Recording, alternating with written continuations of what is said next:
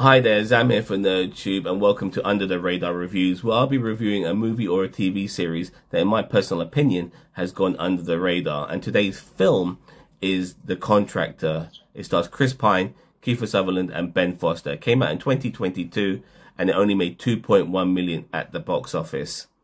This film is currently on Netflix which is where I, I watched it and you can watch it too.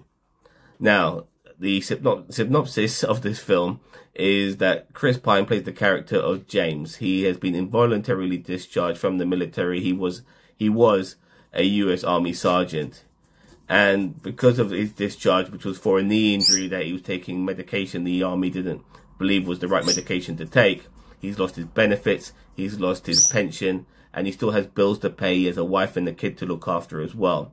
He's a very skillful military personnel. He's a, he, he is a medic, but he knows many things. He knows how to fight as well. He's an intelligent guy. He can speak a few languages too. He's a religious man as well. He lives in rural America, but they made sure they didn't come across as your stereotypical dumb military hick. He decides to work for a contractor that is Rusty Jennings, and he works for Rusty in particular, even though he has multiple contractors who want to hire him. But Rusty says that i work for Uncle Sam. So what you'll be doing is also working for Uncle Sam. James, being a patriot, finds that more appealing than earning even more money working for some CEO and being a glorified bodyguard. So he decides to work for Rusty.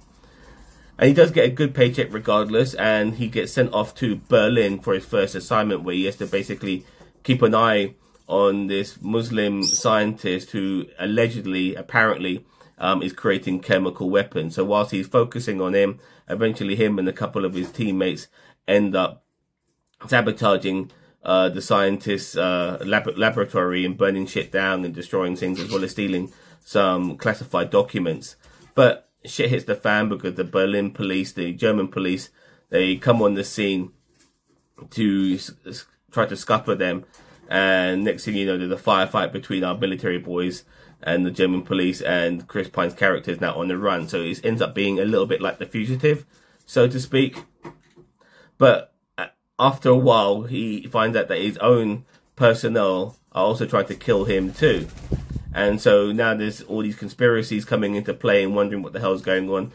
Luckily for the character James, he's a very skillful man. He knows lots of shit. He knows how to take care of himself.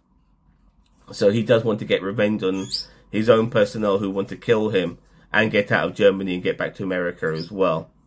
And we do see some good action scenes during the middle of, and you know near the end of this film, um, which are really well executed, nicely directed, good cinematography as well, fantastic shots of Berlin as well as rural America. It does have a slow start, but that's just to get to know our characters, to make us feel for our characters and understand what they're going through.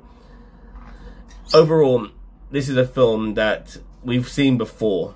Like the premises is nothing new about a man who's against the world. It could be the Bourne Identity. It could be, um, yeah, as I said earlier, The Fugitive, and I'm sure there's a few other films that fit a similar bill to this as well. It's nothing new where one man has to basically prove his innocence whilst also evading the law at the same time, and also using his skills to get himself out of tricky situations. But what makes this film palatable is the cast. You know, if you had a lesser cast in this film, if you had some B movie actors in in this in this film, I guarantee you this film would be shit. But having people like Chris Pine, Kiefer Sutherland, Ben Foster, Eddie Marsan as well, you know, it just it just elevates this movie to a level that is just above average. And I didn't mind this film, but I don't think it's that great either. It's just an okay movie that you can watch and pass the time with that um, is only elevated by the performances of the actors in the film. So when it comes to marking this movie, I'm going to give it a 6 out of 10, just above average.